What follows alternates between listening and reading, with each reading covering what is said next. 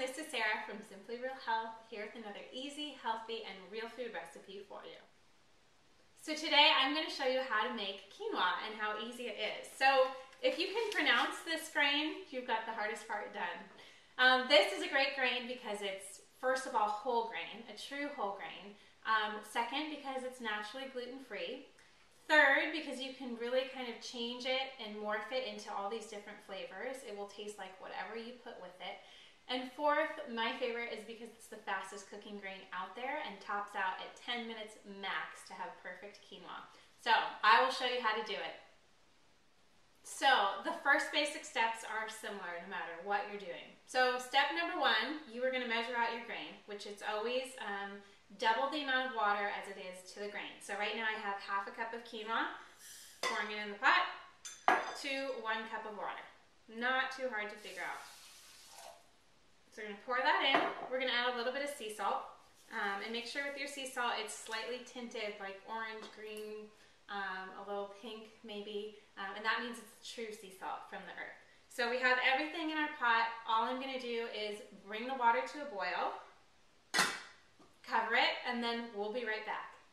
So if you're going to make your quinoa plain and keep it plain and simple, and that would be the case if you're using it something for something more savory, like a stir fry or putting it with vegetables, um, or mixing it with a little bit of Parmesan cheese and frozen veggies. That's a great easy meal.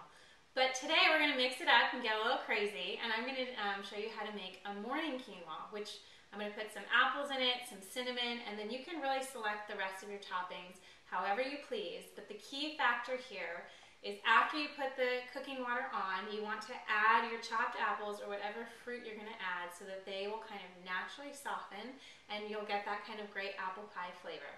So step number three is once the water has come to a full rolling boil, then you actually just turn the heat off and let everything sit for about 10 minutes and then you're done. Then you can add whatever toppings you want. So for this apple cinnamon version, I'm going to put some chia seeds in there um, which you can get at any health food store. They're full of omega-3 fatty acids, which are great for inflammation, um, full of fiber and kind of helps keep you full, and a little bit of protein in them too. I'm also going to put some raisins, some chopped almonds, um, a lot of cinnamon, a little bit of coconut oil, and a little bit of coconut flakes. But you can add whatever combination that you want.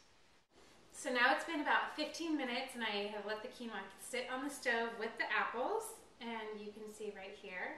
So then it's nice to set up a little toppings bar. So apples and cinnamon is a great combination if you want to sprinkle a little bit of cinnamon in. Um, I would try it first without any sweetener before you add anything in, but you can always add some maple syrup, some raw honey, or some organic grade B um, molasses. so I'm going to do some cinnamon, maybe a little bit of raisins in here, the chia seeds again, give it a little crunch too, and um, a few slivered almonds. And there you have it. Thanks again for watching. Again, this is Sarah from Simply Real Health. If you like this video and want to see more like it, um, make sure you visit my website at simplyrealhealth.com and sign up for your free weekly email full of healthy tips, recipes, and ideas galore. Thanks for tuning in. See you next time. Sugar.